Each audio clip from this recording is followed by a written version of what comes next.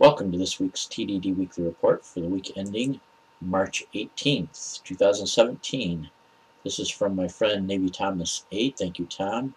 NASA discovers spacecraft spacecraft missing for eight years.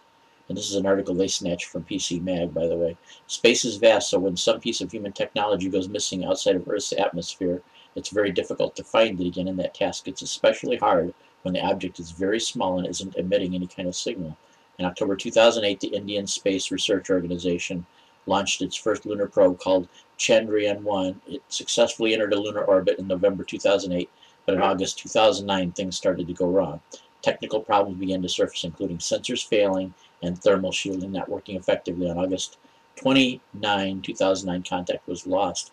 However, NASA actually has uh, been able to track it down, and that's a quite challenging task because this thing is only 1.5 meters wide at its longest, and it's at a distance of 237,000 miles away, being uh, circling the moon. If they, and that's what they weren't even sure either. Was it really still even in orbit around the moon, and uh, where was it in its orbital path? So, Chandrayaan-1 was located using NASA's Goldstone Deep Speed I can almost talk. Deep Space Communications Complex in California in a beam of microwaves. The radar echoes bounced back and were received by the Green Bank Telescope in West Virginia. The only lead they had to go on was the spacecraft's last known orbit from 2009, which was a polar orbit. So the beam was focused on the moon's north pole, hoping the spacecraft would pass by. Sure enough, it did, and multiple detections over a three-month period allowed NASA to confirm the object definitely was Chandrayaan-1. So I think that's kind of cool. Let me turn down my other radio in the background here. okay, let me get back over here. Yes, it's uh, I have an amateur radio going on in the background, and I may actually bring that up in the future. That uh, I've recently, not recently, but for about a year, been into amateur radio, and uh, I will probably talk about that in a future TDD report. But anyway, very cool. As usual, all the links to all the articles I am talking about will be found down in the description. And this next one is from sciencenews.org and the title is Smartphones May Be Changing the Way We Think. And it talks about, you know, mental outlook and using different um, types of technology, not just smartphones, but they talk about computers, video games, and things like that. And I'm going to actually take time rather than relate to most of this article because it's basically a lot of statistics about, you know, portion of U.S. college students who reported checking their phones at least once overnight and just different talks about the habits. But one thing that kind of fascinated me, at least the way I look at things is if you're down past the midpoint of the article, and I'll put the image up here while I talk about it, is it's a um, line chart uh, titled Screen Time is Linked with Mental Well-Being, and it's kind of interesting because if you look in the upper left part, you're seeing using smartphones. Now, don't worry so much about the blue and the red lines. That's just uh, surveys taking place either during the weekdays or weekends. But uh, look at the start satisfaction is just slightly above 48 and then it goes up above 49 an hour later and then by about two hours it starts coming down a little bit and then by you know well by an hour and a half and then by two hours it's basically back to about what it was before. So two hours later using the smartphone and they report maybe about the same but then you start losing ground when you get to three four and five hours it starts really dropping as far as your uh, mental well-being based on this survey. But even more interesting is playing video games starting out with around a 46 the chart seems to go up close to a 49 and it really sustains for a long time. If you look at 1, 2, 3, and 4 hours, it still has not dropped back to where it started to the 46 and you got to go to 5, 6 hours and then finally after it reaches almost 7 hours you're back to about the same point or a little lower so six and a half hours of playing video games. Now realize this is averages. This does not necessarily apply to any individual an individual could fall anywhere along the spectrum too and could even be off the charts for one individual but this is just as a group uh, dynamic overall and I want to give another conclusion about it too just in case anybody thinks it concludes something that it really doesn't.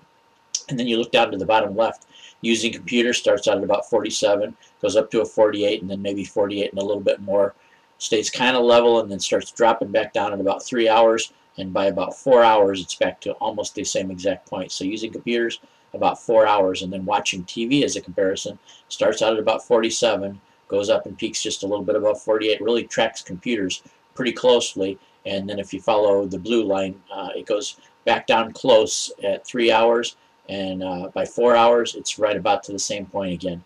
And then it starts dropping a little bit at five hours. So computers and watching TV and movies is about the same satisfaction. So in case you're thinking this is talking about overall mental health.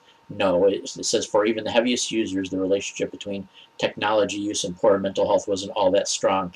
For scale, the potential negative effects of all screen time was less than a third of the size of the positive effects of eating a breakfast. So um, the researchers are not saying that this is something that's going to cause people uh, long-term any kind of mental uh, illness or anything like that. They're just saying your your mental state of mind over these periods of time based on this survey.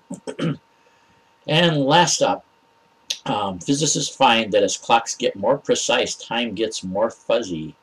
Time is weird. This is ScienceAlert.com. Time is weird in spite of what we think. The universe doesn't have a master clock to run by, making it possible for us to experience time differently depending on how we're moving or how much gravity is pulling on us. Now physicists have combined two grand theories of physics to conclude our only time are to conclude not only is time not universally consistent, any clock we use to measure it will blur the flow of time in its surrounding space.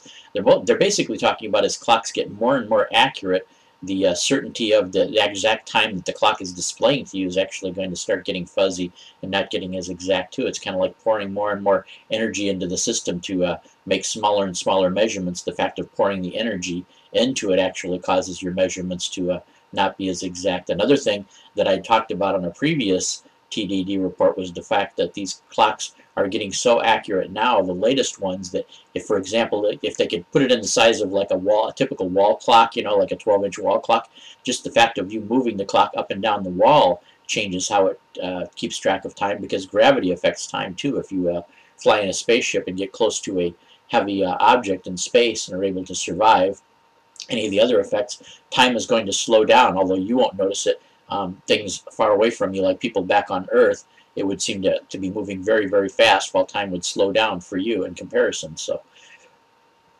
those are some of the things we're dealing with now. And, and if you didn't realize, and I've talked about it before, even the uh, atomic clocks aboard the GPS satellites have to make compensation for the fact they're actually um, jumping ahead in time, or no, they're not, they're actually slowing down in time um, because of the fact they're zooming around the Earth at such a high speed that would actually make the calculations come out wrong if they just kept with that exact time and didn't compensate for the fact that they're actually uh, seeing a different type of uh, time. Now we're talking fractions, very, very small fractions of a second, but still enough to, to keep navigation from being as accurate as it could be. So they actually compensate on those kind of uh, satellites. So in conclusion, this is our findings suggest that we need to re-examine our ideas about the nature of time when both quantum mechanics and general relativity are taken into account, says researcher Esteban Castro.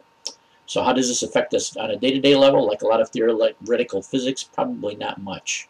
So I don't know if we'll ever get to where we need, but you know, who would have thought that we needed GPS and stuff like that, that we would have to actually have functioning atomic clocks orbiting overhead that had to compensate for the exact, for the effect of relativity, uh, giving them a different time uh, line that they follow compared to ours. So who knows?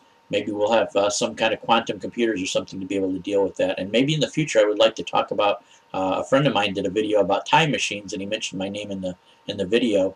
His name is Brian. And uh, if anybody's interested, maybe next week I could actually do a little bit of studying up and see if anything's been advanced as far as any ideas on uh, traveling backwards in time, traveling forward in time, how to build a proper time machine um, things like that. So if you guys are interested, uh, maybe I will actually put together a show just with a, a one subject show where I concentrate on the ideas between uh, about time machines and how they might possibly operate, at least based on the latest theories and the latest practice that I'm aware of.